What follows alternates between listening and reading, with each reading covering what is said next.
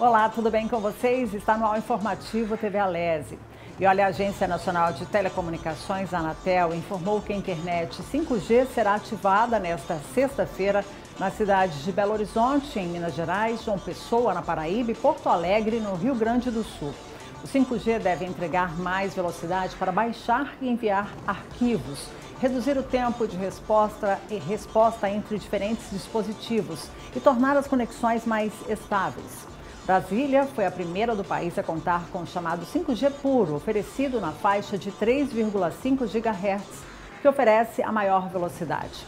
A previsão é que todas as capitais tenham sinal ativado até o fim de setembro. E o assunto agora é educação. Os resultados do World University Rankings 2022 colocam a Universidade Federal de Sergipe como a terceira melhor colocada e a primeira da região Nordeste. O ranking internacional, que é feito anualmente, divulgou a lista de critérios avaliados nesta semana. Esse é o terceiro ano que a única instituição de ensino superior do Estado participa do levantamento, que inclui mais de 1.600 universidades, sendo 59 brasileiras. A metodologia do ranking avalia cinco pilares ou conjunto de indicadores que representam áreas-chave na excelência do ensino superior, ensino-pesquisa, citações, renda da indústria e perspectivas internacionais. A Universidade Federal de Sergipe é referência no pilar Citações no âmbito internacional, estando entre as 25% melhores instituições e ocupando a posição número 187 entre as 1.662 participantes. A Universidade de São Paulo ficou no primeiro lugar nacional, seguida da Universidade de Campinas, a Unicamp.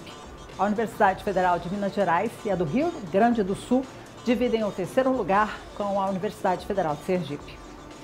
E olha, a Caixa Econômica Federal anunciou na última terça-feira a conclusão do processamento da distribuição de 13,2 bilhões de reais do resultado de 2021 do Fundo de Garantia do Tempo de Serviço, FGTS.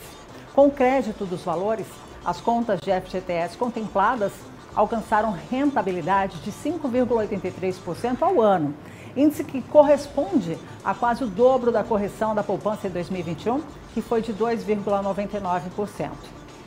A distribuição do lucro do FGTS é uma medida legal que tem como objetivo o incremento da rentabilidade das contas de FGTS do trabalhador por meio da distribuição de parte do resultado positivo auferido pelo Fundo de Garantia do Tempo de Serviço. Vamos mudar o assunto agora? O Fórum Estadual dos Secretários e Dirigentes de Desenvolvimento promoverá amanhã o seminário Caminhos e Estratégias para o Desenvolvimento do Turismo de Sergipe vai ser no auditório do Instituto Federal de Sergipe, no município de Nossa Senhora do Socorro.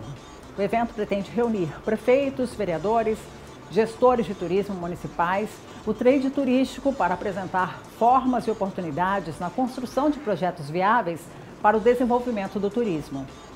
O evento contará com palestras sobre a importância de promover o turismo interno as tratativas para a implantação do primeiro consórcio de turismo no estado e a última palestra vai mostrar as ações de visibilidade para o potencial turístico. O informativo TV Alese fica por aqui. Siga a TV Alese nas redes sociais. Facebook e Instagram pelo arroba TV Alese 5.2. No Twitter, arroba TV Alese. Tchau, tchau. Até o nosso próximo encontro. Até lá. なななななな!